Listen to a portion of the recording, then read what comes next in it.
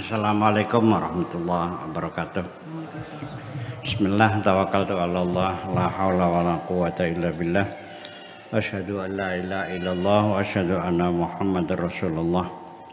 Allahumma salli ala sayyidina Muhammadin wa ala alihi wa sahabatihi ajmain ma ba'd. Kita lanjutkan halaman 800 ya. Alinea ke banyak alinea Bismillahirrahmanirrahim. Walakin al yahud humul yahud. Akan tetapi sekali Yahudi ya tetap Yahudi. Nggak berubah ya Yahudi juga gitu. La yaflahu ma'hum ila al-qahr wal khawf yang tidak bisa berhasil menembus pikiran mereka kecuali ya dengan paksaan dengan ditakut-takuti. Baru nurut. Ya kalau ngomong biasa nggak bakal nurut. Kita lanjutkan. Wa Musa sultanan mubinan. Dan kami turunkan kepada Nabi Musa kekuasaan yang jelas. Wa rafa'na faqahumutur dan kami angkat di atas mereka gunung Tur, gunung Tursina, batu Tursina, bimitsaqihim dengan eh, komitmen mereka, dengan perjanjian mereka. Wa qulna lahum dan kami katakan kepada mereka, Udkhulul baba sujada masuklah ke pintu itu dengan bersujud. Wa qulna lahum dan kami katakan kepada mereka la ta'du fis sabti. Jangan melanggar hari Sabtu. Hari Sabat, hari libur. Wa akhadna minhum mithaqan ghalidha dan kami ambil dari mereka perjanjian yang berat yang keras. Wa sultan alladhi atahu Allah Musa sultan atau kekuasaan yang Allah turunkan kepada Nabi Musa yaitu fil ghalib pada galibnya pada umumnya yaitu asyariah adalah syariat. Jadi sultan di sini sebenarnya artinya syariat ya, syariat agama yang diturunkan kepada Nabi Musa. Allati tadammanatha al-alwah yang tercantum di dalam alwah lauh pada apa? Apa lauh tuh? Papan ya. Lembaran papan. Fasyariatullah sultanun minallah. Syariat Allah adalah kekuasaan yang datangnya dari Allah Subhanahu wa taala. Wa kullu syari'atin ghairi syari'atillah setiap syariat yang bukan syariat Allah ma anzalallah biha min sultan tidak diberikan kekuasaan oleh Allah. Syariat bikinan manusia tidak diberi kekuas kekuatan oleh Allah. Wa ma ja'ala fiha min sadwatin alal qulub dan juga syariat yang dibuat oleh manusia yang bukan dari Allah itu tidak punya kekuatan untuk menembus hati, untuk merebut hati. Ya, lidzalika tastahinu al-qulub bisyara'i' wal qawanin allati yasunnuha al bashar li anfusihim. Oleh karena itu ya lidzalik karena itu tastahinu al qulub hati mereka menghinakan merendahkan ya bisyara'i terhadap syariat-syariat. Wal qawanin dan perundang-undangan allati yasunuhal bashar yang dibuat oleh manusia. Li anfusihim untuk diri mereka sendiri. Wala tunafiduha illa tahta aindir raqib. Dan tidak bisa dilaksanakan kecuali di bawah kontrol ya oleh pengawasan. Ainur Raqib. Wasaiful jalad dan di bawah ancaman pedang al-gojo fa amma syariatullah fal qulubu takhda'u laha. Adapun syariat Allah ya semua hati akan tunduk wa takhna'u dan akan menghormatinya laha wa fi nafsi mahabatun wa khasyah akan menghormati undang-undang syariat Allah dan di dalam jiwa kita ada penghormatan, ada pengaguman. Jadi artinya bahwa maksudnya ini syariat undang-undang yang dibuat oleh manusia untuk manusia sendiri yang disebut dengan al-qawanin al-wadaiyah, undang-undang buatan manusia yang dirancang oleh manusia, disusun oleh manusia, diratifikasi oleh manusia, tentunya yang meratifikasi adalah DPR, itu menjadi undang-undang, masalah pajak, masalah tanah, undang-undang tanah, undang-undang pendidikan, segala macam undang-undang yang dibuat oleh manusia. Kata di sini itu tidak punya sultan, tidak punya kekuasaan. Supaya orang itu tunduk mentaati undang-undang itu, maka dibuatnya lah namanya sanksi, pengawasan, kontrol, di bawah ancaman, baru orang itu nurut undang-undang. Ya sanksi-sanksi itulah. Apabila melanggar undang-undang semacam ini maka hukumannya adalah sekian tahun melanggar ini hukumannya sekian tahun.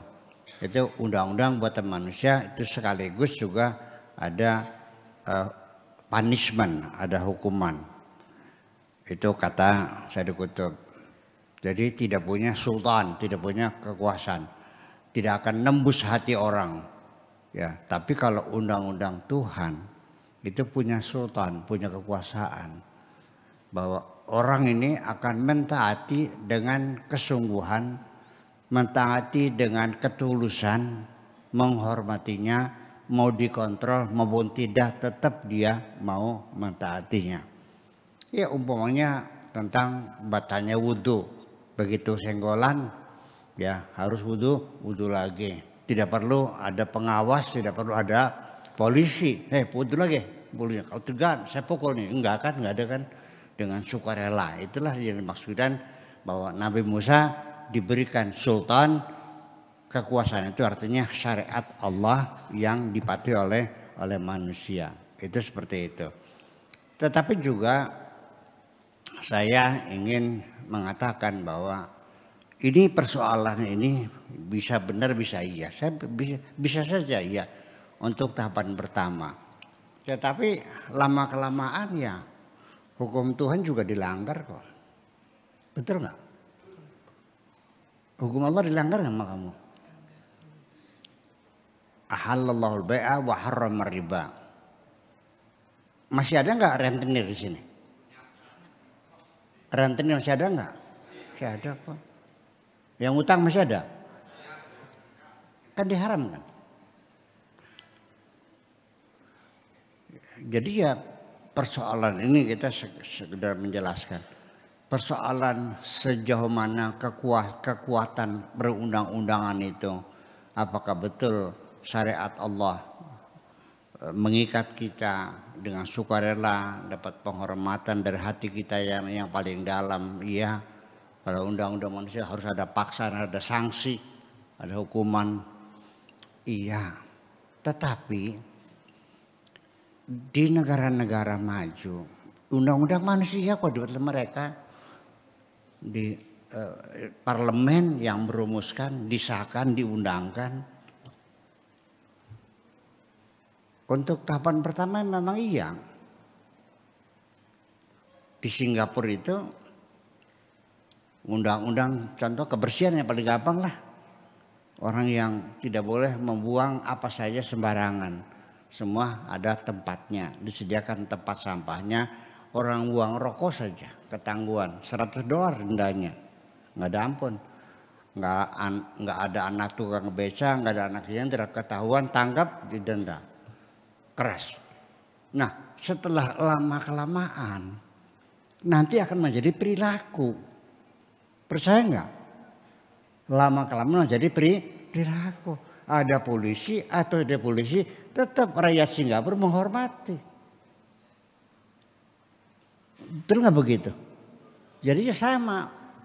Syarat Allah juga kalau tidak didukung oleh polisi ya dikontrol ya sama juga dilanggar juga. Tergantung pada kesadaran kita masing-masing. Nah, saya bukan membantah, saya ingin e, menjelaskan lebih jauh lagi. Jadi undang-undang apa pun kapan ditaatinya itu ketika ada ancaman-ancaman itu memang tahapan pertama harus begitu. Tapi target terakhir nanti orang itu dengan kesadarannya ada polisi atau tidak ada polisi, ya ada sanksi atau tidak ada sanksi, kita sebagai warga negara ya menghormati undang-undang yang telah disahkan oleh DPR itu. Nah makanya di era demokrasi kalau kalian tidak setuju dengan undang-undang yang disahkan oleh DPR, Anda bisa mengadukan usulnya ke Mahkamah Konstitusi, kan begitu? Ada aturannya kok. Ya, kehidupan demokrasi. Ya, semacam itu. Jadi tidak semata-mata karena tidak ada polisi nanti lalu orang melanggar. Ya dalam hukum ini juga sama. Di sini ada nggak di Indonesia orang orang Islam, beragama Islam yang nggak sholat? Ada nggak? Yang nggak jakat? Yang nggak puasa? Kenapa tidak mengerti? Iya, iya. Ini, ini teorinya kan seperti itu, gitu. Jadi pada akhirnya di penghujungnya baru mulai mapan ketika undang-undang itu sudah berubah menjadi suatu tradisi. Sudah menjadi kebiasaan kita. Lama-lama akhirnya menjadi kebiasaan orang Singapura baik di rumah maupun di halaman maupun di pasar maupun di kebun itu sudah tidak lagi buang sampah sembarangan. Sudah menjadi tradisi mereka. Selesai coba kita tanya sekarang kalau kita di Singapura ada berapa orang yang didenda buang sampah ya sudah hampir nggak ada Emangnya polisi ada di, di setiap sudut jalan ada polisi enggak juga kan? Ya itu. Ke, akhirnya pada kesadaran itu sendiri ke persoalannya. Nah sekarang kesadaran terhadap hukum itu sendiri di kalangan umat Islam sekarang ini sudah pada titik nadir kok. Itu sudah lemah sekali. Di negara-negara Islam yang banyak terjadi kasus korupsi, kasus pencurian, copet, maling, perampokan itu merajalela di banyak negara-negara Islam. Ya termasuk negara kita juga sama kan? Iya kan? Iya. Jadi siapa di antara kita yang benar-benar takut sama Allah? Sok ngacung. Yang siapa yang ngacung? Yang benar takut sama Allah? Sok ngacung tercolok mata yang gitu sih. iya. Nah itu kan melalui pembelajaran semua itu. Jadi kesetiaan kepatuhan pada undang-undang juga berdasarkan pembelajaran, pembiasaan, lama kelamaan menjadi menjadi kebiasaan menjadi tradisi. Kenapa undang-undang kok rumit segini? Ya memang kehidupan semakin rumit, undang-undang semakin rumit. Ketika hidup kita masih sederhana, masih zaman primitif, masih pakai koteka, tidurnya masih di atas pohon, ya kan? Ya semuanya serba serba serba sederhana. Kepala suku nggak perlu nggak ada nggak perlu KPU. Ya, asal yang siapa yang paling kuat diangkat jadi kepala suku. Bagaimana ngaturnya? Ya nggak perlu DPR, Ya, tinggal tunjuk-tunjuk kamu berburu. Eh, kamu lima orang berburu Nah kamu bagian masak, kamu jaga kampung, selesai. Iya kan? Sederhana sekali. Dapat buruan, dibagi makan bareng-bareng, udah sederhana. Ya, ya rumitnya kenapa? Ya karena hidup kita semakin rumit. Iya, dibuat undang-undang macam-macam jadi terlalu banyak manusia ya membuat undang-undang bukan untuk dipatuhi tapi untuk dilanggar sendiri kok. Ada nggak dibuat sendiri, dilanggar sendiri, sendiri kok semacam itu. Nah ini perlu ada penjelasan.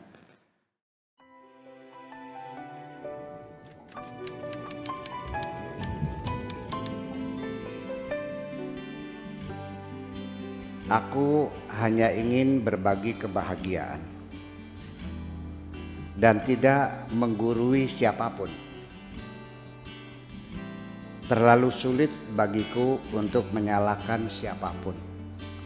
Akan tetapi, apabila ada orang yang ingin mengisi raporku, tentu aku sangat gembira sekali. Dan kujamin aku tidak akan sakit hati sedikit